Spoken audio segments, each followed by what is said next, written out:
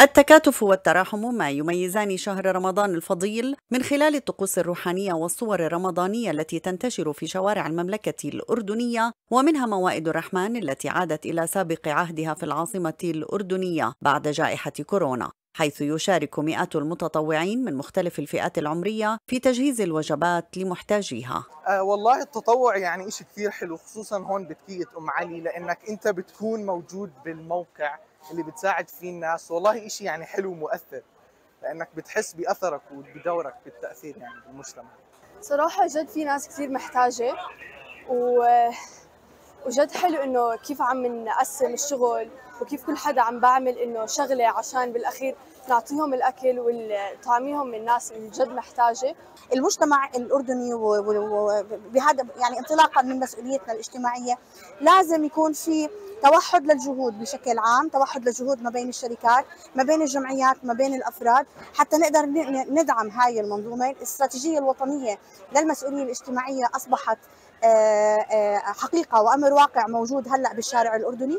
إذا إذا إذا نحن ما كنا قادرين كشركات وكأفراد إنه وفاهمين هاي المنظومة نحن مستحيل إنه نتحرك خطوة للأمام. وتعمل تكية ام علي على تقديم الدعم الغذائي للأسر المتعففة على مدار العام. في حين تعمل خلال شهر رمضان على تجهيز موائد الرحمن والتي تستقبل أكثر من ثلاثة آلاف شخص يوميا. أساس عملنا هو تقديم الدعم الغذائي للأسر الأكثر حاجة واللي تحت خط الفقر الغذائي. وهذا طبعا بيتم من خلال برامج مستدامة على مدار السنة. في عندنا 20 ألف أسرة نوصلهم بقروض غذائية شهرية على مدار السنة بكافة محافظات المملكة. ولكن المواسم لها خصوصيتها. في عندنا موسم رمضان وموسم الأضحى. خصوصية موسم رمضان هو موسم لحاله الإنسان بتغير مشاعره من نواحي دينية يعني القيم الدينية والقيم الاجتماعية.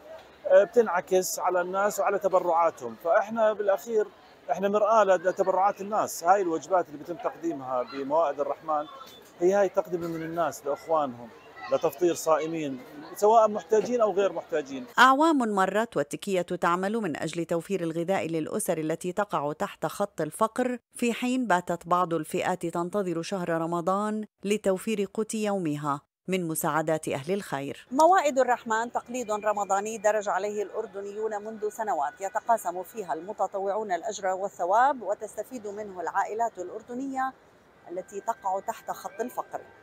دام الكردي زاغروس الفضائية عمان.